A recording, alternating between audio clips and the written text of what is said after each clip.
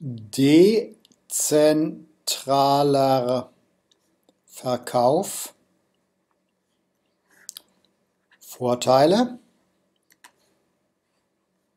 Nachteile. Sie merken, ich habe schon mal die Frage umgestellt, um der Antwort eine Struktur zu geben. Die Frage lautet natürlich, welche Vorteile und welche Nachteile hat der dezentrale Verkauf?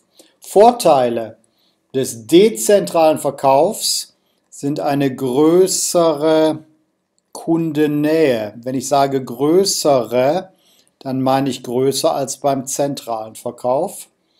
Eine schnellere Lieferung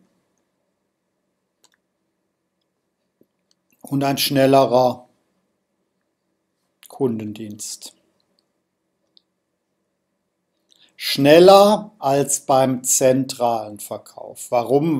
Man ist einfach näher am Kunden, wenn man sich dezentral strukturiert hier. Nachteile sind hohe Personalkosten.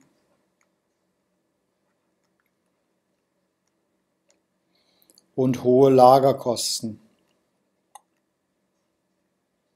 Ja, die dezentrale Strukturierung bringt halt mit sich, dass man viele kleine Lager unterhält und nicht ein großes zentral, sondern viele kleine dezentrale und dadurch werden die Lagerkosten höher. Wollen Sie lernen, ohne zu leiden, dann klicken Sie auf den Link unter diesem Video. Dieser Link führt Sie direkt zu meinem Schnelllernsystem. Mein Name ist Marius Ebert. Vielen Dank.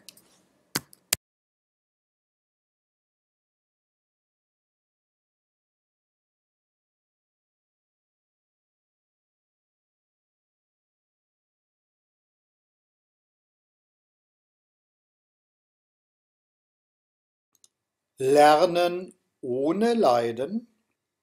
Mein Name ist Dr. Marius Ebert. Seit mehr als 25 Jahren lernen Menschen durch meine Methode leichter und bestehen ihre Prüfung sicher. Meine Methode funktioniert schnell und sicher.